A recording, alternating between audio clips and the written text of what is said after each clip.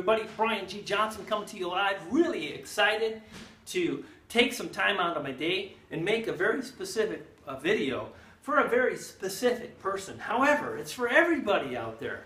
And if you find some value in this video, awesome. So check it out. However, first, warning, disclaimer, disclaimer. Brian Johnson's about to make a video about smoking dope, doing drugs having a drink in the evening or in the morning or any time that you might happen to drink. And Brian passes no judgments on those people that do those kind of activities. However, if you're someone that is thinking enough is enough, well, then this video might be able to help you to move forward. Okay, disclaimer off. Okay, so what is this crazy guy, what's this video all about?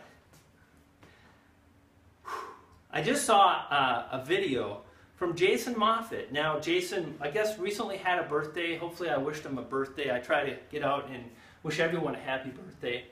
And he mentioned in this video that he's made the decision to go clean and sober for one year, which I really applaud and I think is uh, tremendous.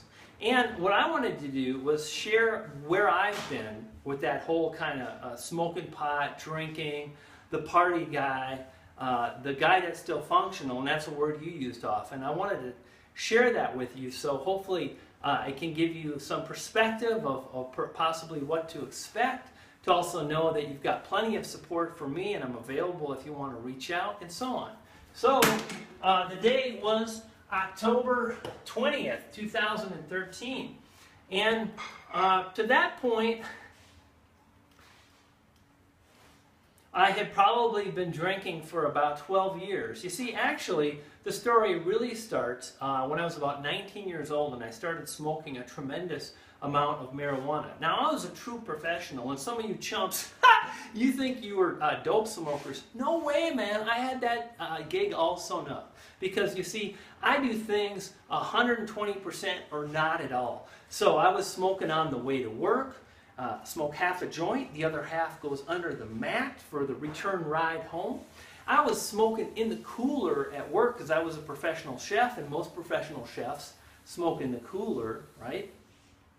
I was smoking in the middle of the night because I had some, and their bong was right there. Why not? I smoked all the time, and uh, it got to be too much, and it did start impacting me. And uh, with that, I got into a program, and it took me about three years, but I quit.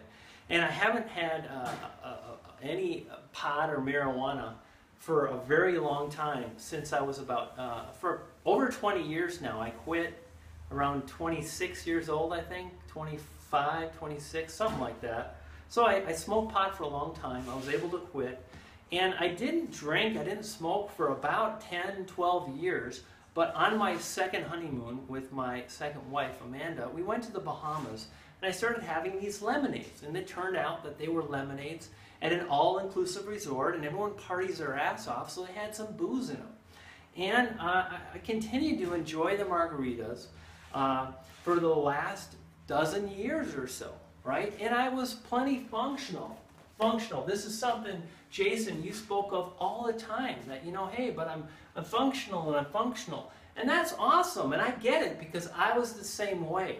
You know, I've sold thousands and thousands of products online, and I'm proud of that. But what I'm really proud is of my ability to help people get results, to create tremendous trainings and uh, programs, and, and to coach people, and to set them on a path of success. And I've done it again and again. But at the end of the day, who cares? Because right now, today, I'm alive and I have the opportunity to be the best B to the G to the J. Boom! And that's why I quit. So functional is cool, but you know what? Functional is kind of like, well, I'm kind of being okay. I'm kind of like walking through life in a mediocre kind of way when I rather kick ass all day long, take names, and be the best Brian G. Johnson possible. So when I finally got to that day, October 20th, 2013, in Austin, Texas, after a rock and John Fogerty concert, I said enough is enough. I feel like crap today. I've got big plans. I'm writing a serious book, like in bookstores and, and, and New York Times bestsellers. And I want to move forward and, and do all these things. And I want to be the best I can be.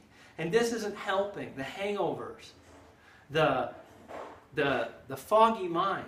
So I quit, and it's been a long time. I mean, it's almost July. Tomorrow is July 1st. And I got to tell you, man, I feel like a million bucks. My face is a bit thinner. I look a little bit better. I've probably lost about six or seven pounds. And this is really where it gets awesome. I eat ice cream like every freaking night. And I don't, you know, I just kind of maintaining. That's why I quit. Because I have stuff to do. I have places to go. And I can't have anything holding me back. I took it in my own hands and I said, I'm going to do this. And it's not just about the booze because, you know, last summer I hired a personal coach and I dealt with some demons that were slowing me down. I started examining the things in my life that were holding me back. And I, you know, I spent good money in order to do, uh, to do just that. Uh, I did all of these things to really examine and take away so, so many people in life, they're trying to find the thing that will make them better. They're looking for the key to life. They're looking for the very best method to make money. They're trying to figure out the missing key to move forward. And what I want to tell you is there's a really good chance that to be the best you possible, maybe you need to think about removing something. For me, it was uh, dealing with my demons, getting that straight, spending the money, taking the time, doing the work, so I could know what's what. And I could put those mothers to sleep. Number two was getting rid of the booze because I didn't have the opportunity to feel bad in the morning. I had an, a, a, a serious project that needed my full attention. These are the things that I've taken away. So, Jason, congratulations. It's going to be awesome. And I want to put something uh, to your mind here. I would invite you to reach out and contact me in say two, three, maybe four months after you've been down this path and uh, you still haven't uh, smoked any dope, you haven't done any drugs, you haven't had a drink, and when it's been two, three, four months, I want you to send me a private message and I'm going to ask you a few questions because I want to, uh, I'd like to be a part of this with you. And I uh, encourage anybody to, uh, to learn more about what Jason's doing. He's putting up a Facebook group for support and whatnot. I know there's a couple brothers out there. Uh, Seth Larrabee, uh, he's in the same boat. We both quit around the same time, and uh, he's, he's doing well in that department. So, congratulations. Uh, you're awesome. Way to go. Uh, I'm sure you're going to inspire a lot of folks and it's time to be the best you possible, baby, to have that clarity. So, boom, go get them.